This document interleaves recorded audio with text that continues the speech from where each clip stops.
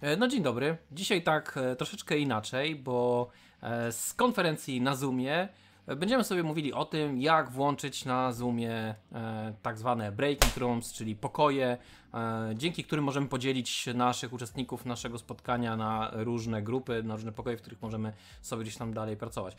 Zobaczcie, że teraz, kiedy mam taką, to jest y, podstawowe okno y, Zooma i zobaczcie, że teraz, kiedy mam je włączone tak po prostu y, bez tej opcji, tu w tym miejscu nie mam dzielenia na pokoje, a ono się właśnie tutaj powinno pojawić.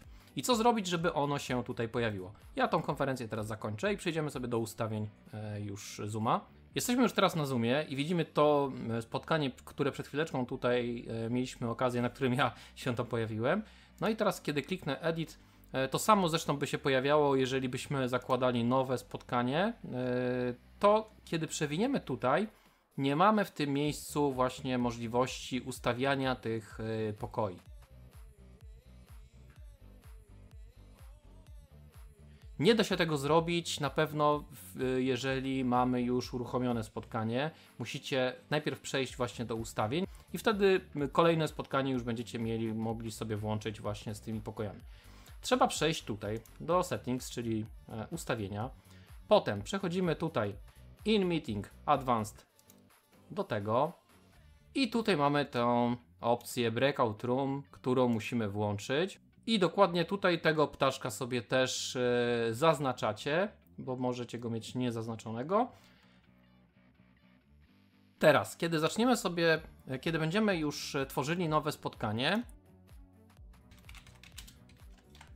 nazwa spotkania, ale teraz, kiedy przejeżdżam tutaj do dołu, to mam opcję Breakout Room. I ta opcja tutaj pojawia nam się dzięki temu, że zaznaczyliśmy tutaj właśnie tego ptaszka, odznaczyliśmy tą opcję.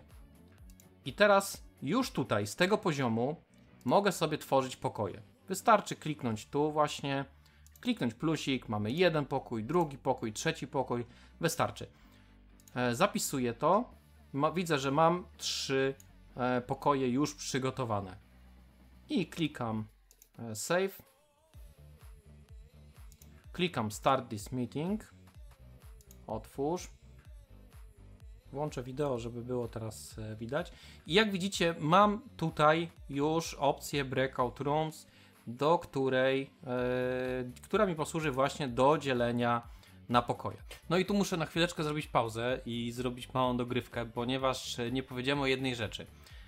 Jeżeli nie zaznaczycie nawet tego e, tutaj, e, tego ptaszka, i nie będziecie mieli tutaj tej opcji do y, tworzenia pokoju lub nie stworzycie tutaj pokoju, to tak czy inaczej możecie stworzyć pokój właśnie tutaj przy Breakout Rooms i tutaj możecie już tworzyć sobie pokoje, możecie dodawać manualnie, jak będziecie mieli, e, możecie pozwalać im wybierać pokoje i te wszystkie opcje e, są właśnie już wtedy tu i w, i w ten sposób tworzycie e, sobie te pokoje. No i zapraszam dalej. No ale teraz, żebym mógł pokazać Wam, jak to działa, przydałoby się, żebyśmy się tutaj z kimś połączyli. I w tej chwili połączenie zaraz sobie zrobimy. Testowe. Połączymy się z Zyśkiem. E, widzimy, że do naszego spotkania dołączył do nas e, Zyziek. I teraz możemy Zyśka i innych, którzy by przyłączyli się tutaj do tego spotkania w tym momencie, przełączyć do innych pokoi. Wystarczy kliknąć teraz tutaj Breakout e, Rooms i zobaczcie, kiedy kliknę tutaj, mam od razu możliwość przeniesienia Zyśka albo do jednego e, pokoju. I Zysiek jest teraz e, w pokoju numer 1. Tak, teraz mogę Zyśka e, z tego pokoju numer 1 wyrzucić i przenieść go na przykład do pokoju numer 2. E, w tym momencie mogę też e, sobie dodać kolejny pokój.